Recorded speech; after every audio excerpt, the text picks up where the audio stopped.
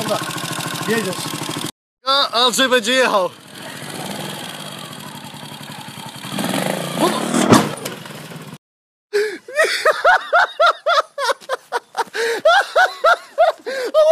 Mój brzuch! Ludzie, czy to się wydarzyło? Ja nie wierzę. O k***a, Andrzej. Co ty? Ej, to nie jest śmieszne, stary. Dzwoń po sąsiadów. Po prostu nie róbcie tego w domu.